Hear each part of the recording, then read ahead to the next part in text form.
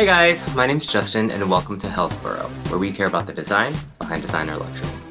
And if you do too, make sure to subscribe. Is that right? So for today's video, I thought it would be really interesting to talk about collaboration burnout. So when I say collaboration burnout, I'm talking about like the trend of these like fashion houses doing collaborations with whoever, it doesn't matter. It could be an athletic clothing brand or shoe brand. It could be luxury luxury or luxury and artists, streetwear, whatever. For me, I think we've gotten to a point where like we've seen like collab after collab after collab, like one after another, and it's like at the point where I'm like, okay, is this really what we're gonna do?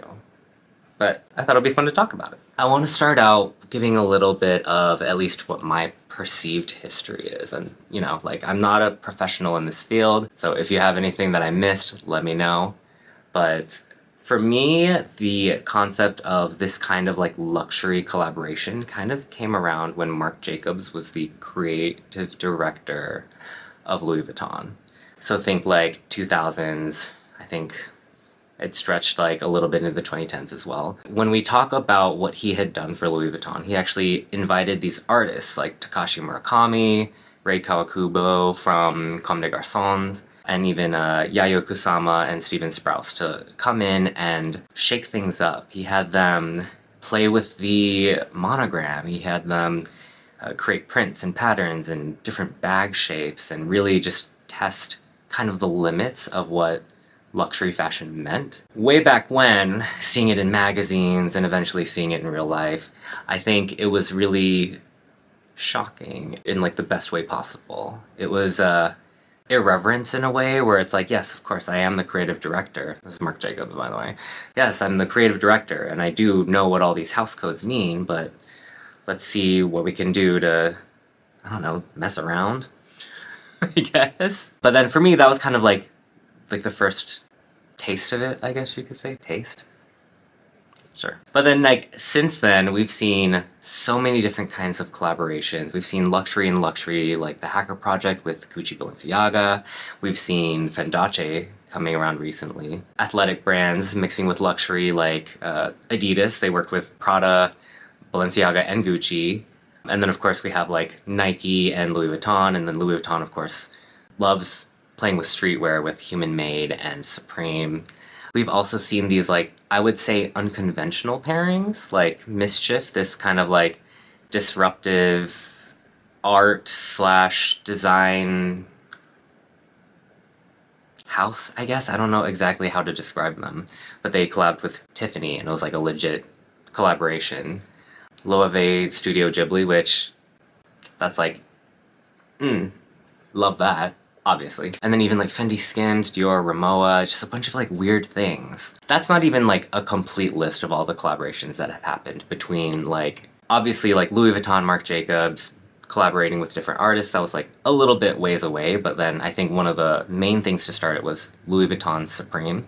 And if you talk about from then as, let's call that the starting point, to now, what I listed before was not even the full list. It's kind of insane. And there's different things happening, like, I, it almost feels like every other month or even every month we're getting something new and something either surprising or maybe not so surprising but unexpected. It's just getting to the point where it's like so much where it feels almost like repetition in a way and it starts to feel like a cash grab. So I wanted to grab this to kind of just talk about this as like stopping, not a stopping point, but like a, a pinpoint just to kind of set a time frame. So the Gucci Aria runway, which celebrated the house's 100th year, had the collaboration of the Hacker Project with Balenciaga as a part of it.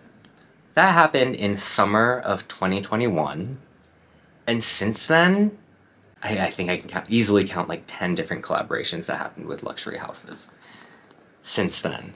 And this is still like a pretty new bag it's getting to the point where it feels almost like a cash grab. There are definitely some of these collaborations that feel very meaningful and very purposeful, but it gets to a point where it's kind of just the same thing of, oh, here, let's put a Gucci shoe with the Adidas Trefoil logo on it. Oh, but then we're also going to have Prada do the same thing with the three stripes going down a pair of pants. If you guys know me at all, I love these collaborations so much, but it's getting to the point where it's almost like manufactured hype.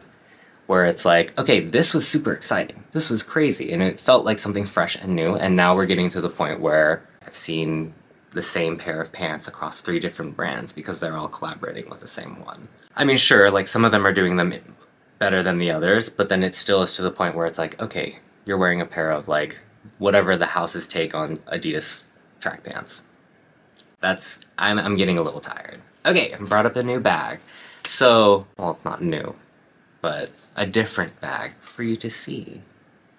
Okay.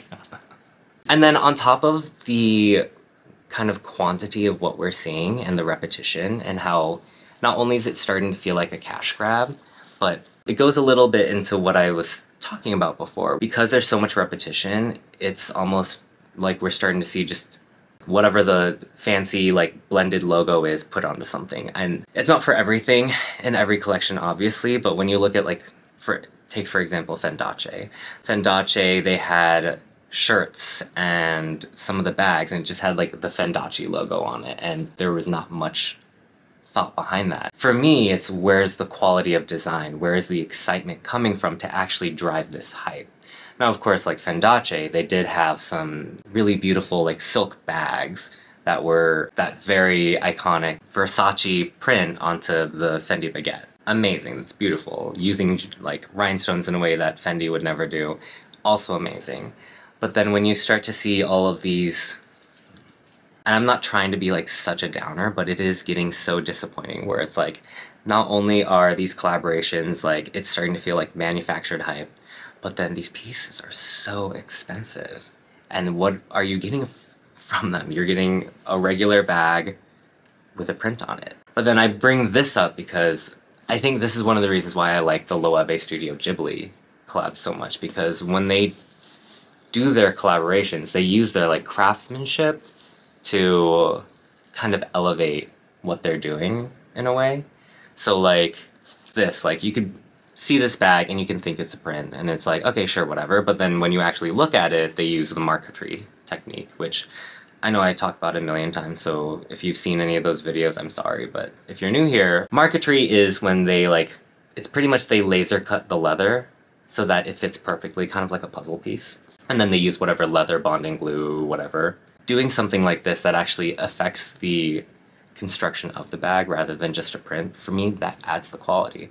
And a lot of what I've been seeing recently is literally just printing on like a Kensington mule or basically any like a Prada sneaker or something like whatever it is. I recognize that you can't make everything exciting because then the exciting things won't seem as exciting. I don't know, it's also like how many times can I say exciting? But please do something more exciting. Like, even when Loewe and Studio Ghibli do a collab, yeah, there are less exciting things, but they still use a little bit of craftsmanship when it comes to it.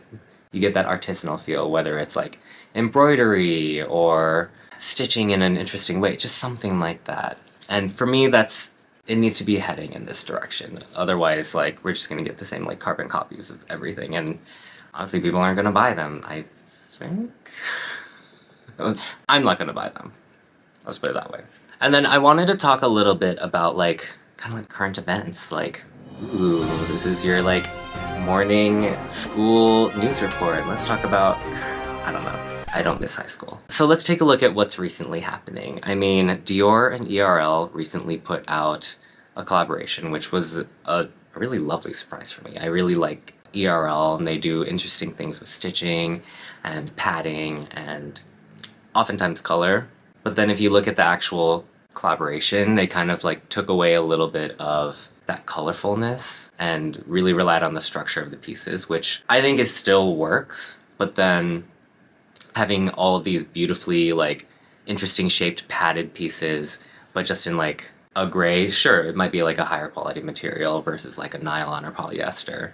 But then, I don't know, it takes away a little bit of the the fun and effervescence for me. But then you can still kind of see like, okay, this is where like the houses meet. I'm like, okay, sure, I get that.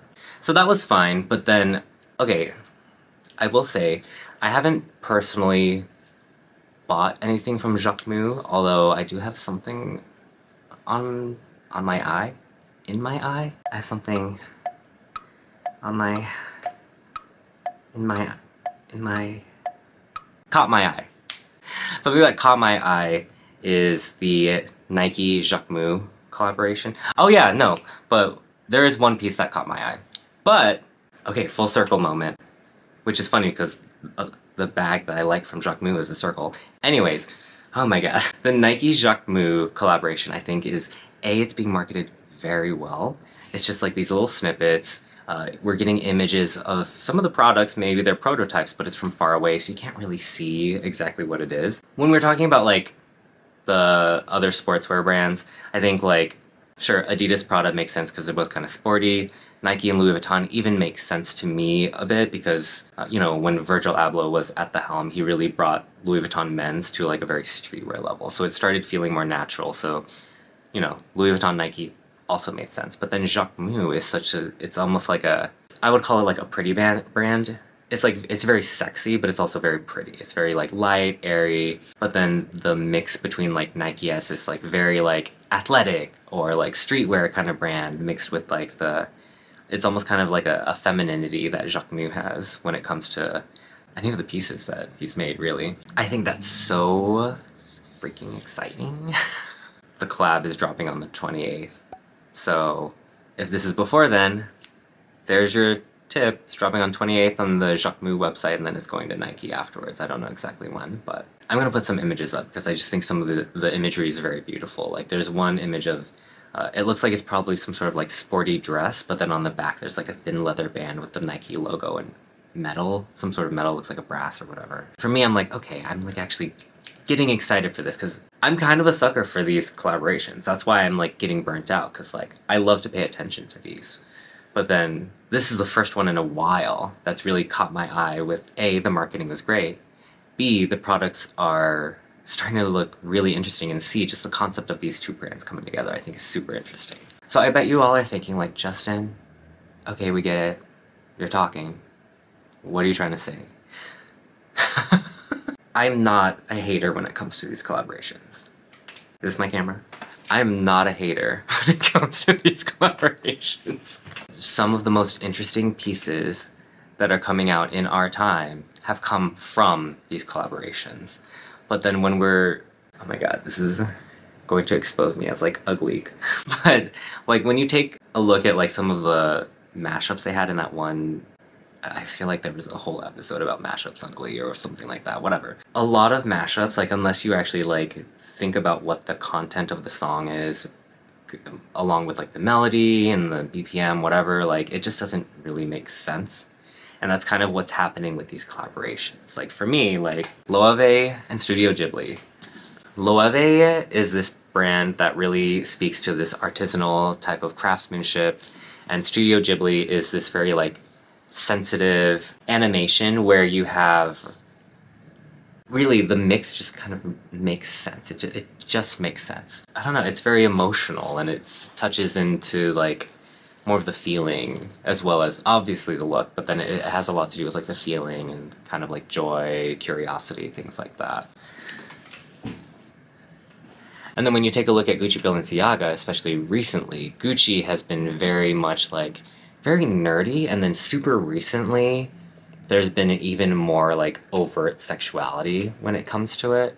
So having that kind of harsh contrast within that house itself, and then Balenciaga, Demna is known for these like very exaggerated, like it's almost like grotesque figures. So like the mashup of those, it, it becomes too much, which means it makes enough, which I think is beautiful like that. And then again, talking about Jacquemus Nike, this very like feminine, ethereal kind of brand in Jacquemus, mixing with this very like grounded, practical, uh, athletic, streetweary kind of brand that Nike has turned itself into.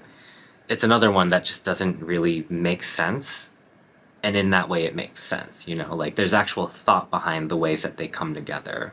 What I'm trying to say is that when we're taking a look at all these exciting collaborations that are coming out, like, is there actually something that is holding these houses together or like pulling them apart? Like, are they at odds? And having either like a really strong similarity or a strong contrast is what's going to make it interesting. And I think for my sanity, I think I'm going to mostly like keep an eye out just for the ones that I can kind of read like, okay, these two houses do not make sense or these two houses absolutely make sense. And then I'll let all the stuff that's in between kind of fall to the floor. Who knows, maybe I'll find a piece from one of them that I find interesting and maybe I'll get it or not, whatever. It's just being aware and being having a little bit of knowledge of background so that, you know, you can make an informed decision. Like, is this something to watch? Is this something to want? Because otherwise it's like, okay, what's the lasting impact? And are you just buying a piece that's is exciting now, but then once the hype dies down, is it actually going to be something that you want to keep in your collection? But that's all I have for you guys today. If you like this video, please make sure to like and subscribe. It lets me know that you like this kind of content and that you too care about the design behind designer luxury. Until next time,